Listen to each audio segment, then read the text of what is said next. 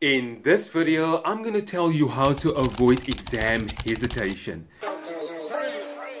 I get it, I get it, alive enough to know why things get around. You're trying to play me, but I'm cutting it down. I'm making my stand like the tree roots. Asking my name, I'll be armed. Crude, I'm an apple on the tree, the adamant evade. Replanning all my seeds to make a new remake. I know that. Hello everybody, my name is Paulvin Webster, author of Just Pass Math, a success guide for parents and students. And in this video, we're going to talk about how to avoid exam hesitation. So there's mainly two reasons why you struggle with a specific question when it comes to exam and you get your exam paper. Is number number one is you don't probably know your work that well or you are stressing a lot. So let's say for instance, this is what usually happens on exam day is you get that question paper and the examiner will say, okay, you have five to 10 minutes to check if all the pages are there. This is an opportunity for you to uh, check, okay, if let's say for instance you get to question 9 and you know, okay, this is usually a question or a chapter or a method that you really struggle with applying, then you can skip that question.